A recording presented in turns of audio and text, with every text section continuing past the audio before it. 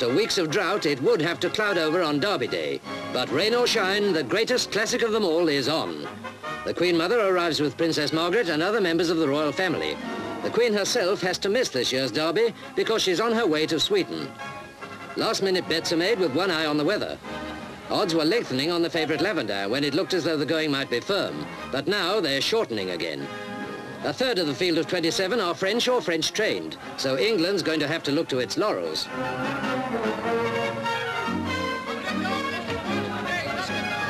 There's the Queen's horse Atlas with Harry Carr up, followed by Gilles de Retz and Lord Astor's Hornbeam ridden by Joe Mercer. And Tenereze, one of the French hopes. As the horses leave the parade and canter towards the start, it's beginning to rain quite steadily and the umbrellas are going up. They're under starter's orders, not too much temperament.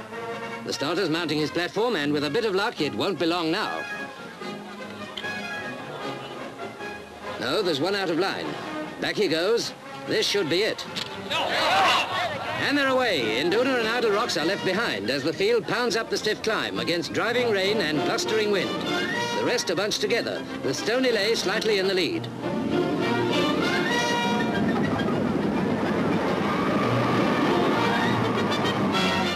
It's Monterey leading Stony Lay and Pirate King as they come up to the bushes. He's a couple of lengths ahead and going nicely, but there's six furlongs to go yet and anything can happen.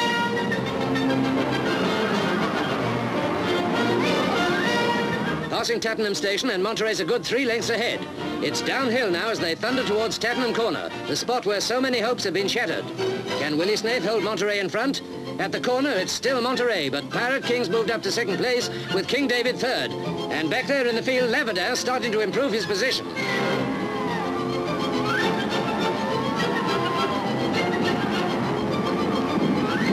Into the straight. Monterey's leading by three or four lengths, and Pirate King's beginning to lose ground. This is where the challenges often start, so Snaith's getting everything he can out of Monterey. If he can increase his lead now, he's got a splendid chance.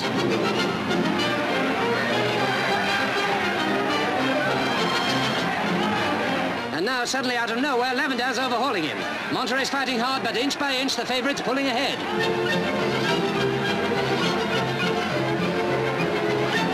It's Lavandin about a length in front. Monterey's dropping back, and here comes yet another challenge. It's Montaval, but he's left it too late, and Lavandin wins by a neck.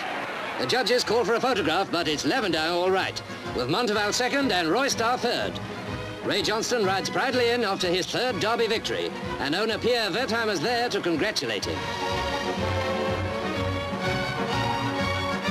So France has taken first and second places with Ireland third. And though it may have been the wettest derby for many years, it was one of the most exciting finishes of them all.